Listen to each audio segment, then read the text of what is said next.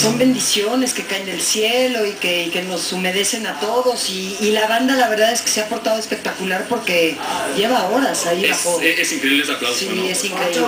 Aplauso. Oye, este, qué gusto, ¿no? Escucharte con, con nuevo material musical. Estoy muy contenta. Ah. Y estoy muy contenta de presentarlo por primera vez a través de ustedes. Gracias. Y muy rico, muy rico volver al pop.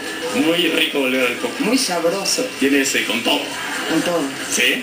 Ya viviendo aquí en México.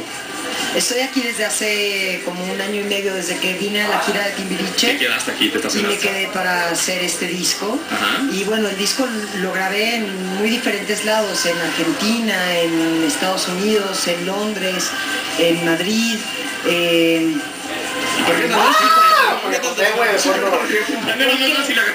Porque los productores que, con los que quería trabajar estaban en diferentes lados y fui a perseguirlos. Ah. Fui a por ellos. Y el disco es el resultado de esas colaboraciones, de esos viajes y... y- Tú estás feliz, ¿no? Porque lo hiciste con los productores que quieres. Exacto. En todas partes. Exacto. Un disco.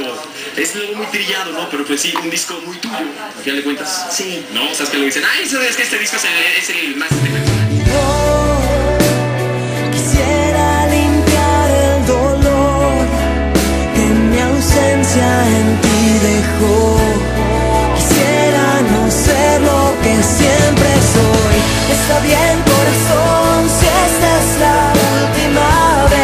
vez